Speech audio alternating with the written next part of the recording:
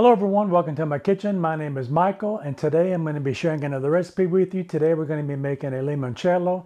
This is a lemon liqueur that is served after your meal. It's predominantly found in southern Italy and we're going to be using lemons today and we're going to go ahead and get that process started. So I've got eight lemons here and these are organic lemons and I've given these a good wash. If you don't have the organic ones, just make sure you give them a good wash because a lot of the regular lemons and things will come in with just a little bit of wax on the outside. That just protects the lemons while they're in the store until they get to you to eat. Definitely you want to give those a wash and if you see any of that wax on there, you can feel it, you can definitely take that off. These are organic, so I did wash these and we're going to go ahead and take this off.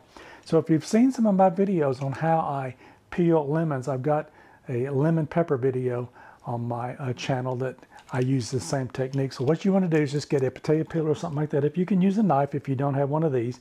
And you want to give your lemon a peel. And what we're going to do is you just want the outside part of it. You don't want to get down deep into the white part of it because that white part is really bitter.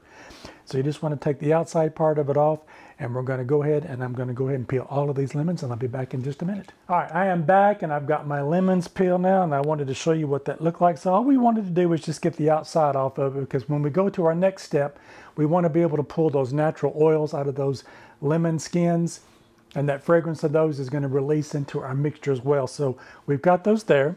I've got a container here. You want something that's going to be big enough that you can put your lemon skins in, and we're going to be using 750 milliliters of Everclear pure grain alcohol. If you can't find this or they don't sell it where you are, it could be restricted from you uh, being able to purchase this. You can use vodka. It doesn't have a lot of uh, flavors in the vodka, so it definitely won't embark a lot of it because we want a lot of that coming from our lemons here. So pure grain alcohol Everclear is what you want. So what we're going to do first is I'm going to go ahead and put my lemon peels into my container. All right, now that we've got our lemon peels in our container, we're going to take our alcohol and we're going to put this on the top of our lemons.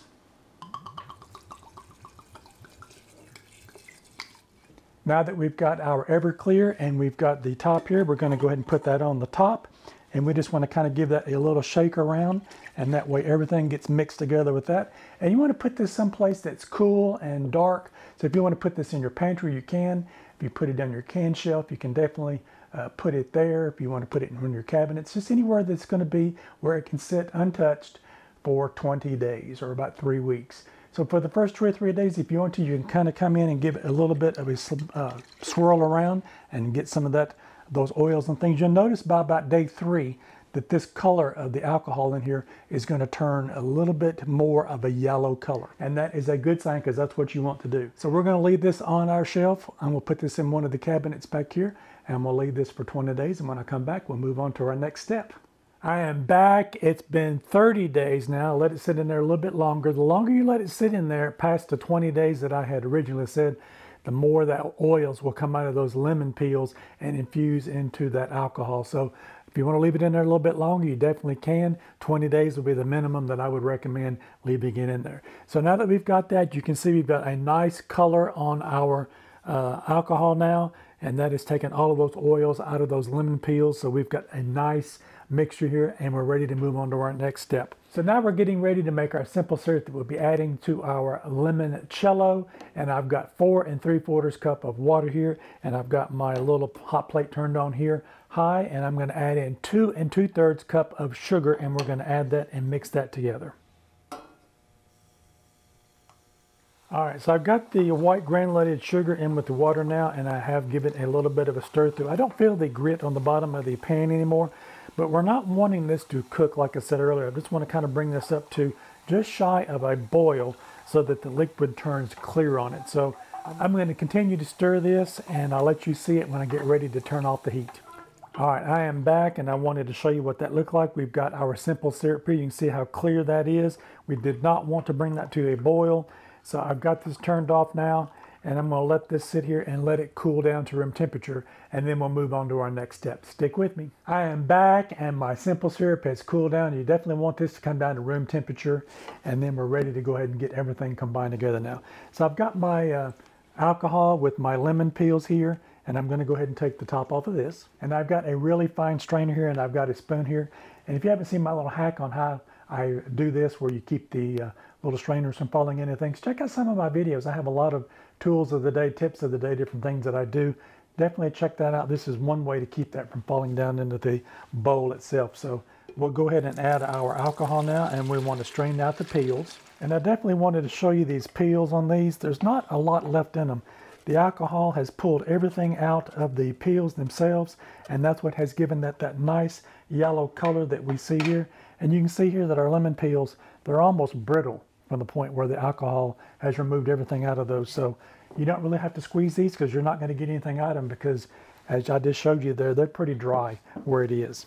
So now that I have my lemon infused alcohol into my container here, I'm going to take my simple syrup and we're going to add that to it.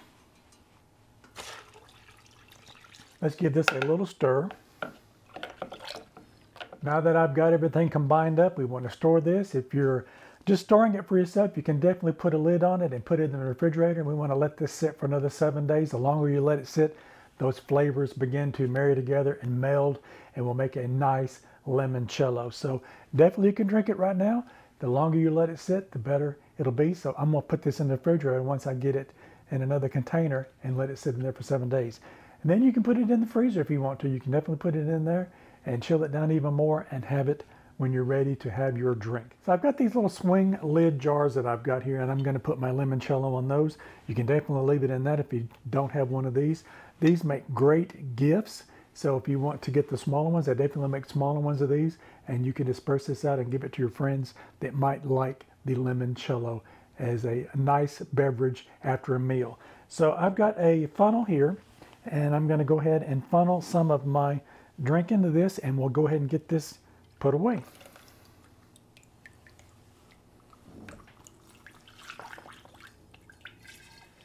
All right, my limoncello, I was able to put it in both of these bottles and I've got a little shot glass here, which I'll be giving that a taste in just a second. And I've got just a little bit left in the bottom of this. So definitely this recipe that I've got today will fill up two of these size bottles. I'll put the link in the description box below of what these sizes are here.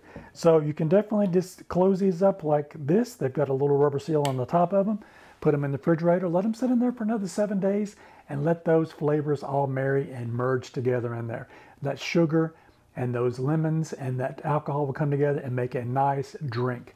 Let me know in the comment section if you've ever had limoncello. I would love to hear from you. And definitely if you tried this recipe, I definitely want to hear from you on how you think this turns out. And if you like this content, maybe you might consider giving me a thumbs up. I would really appreciate it. And check out one of these other two videos over here on the side. You might find something else you like. Don't forget to like, share, and subscribe. Check out this limoncello. I know you're going to love it. I'll see you in my next video. Bye-bye now. That is delicious.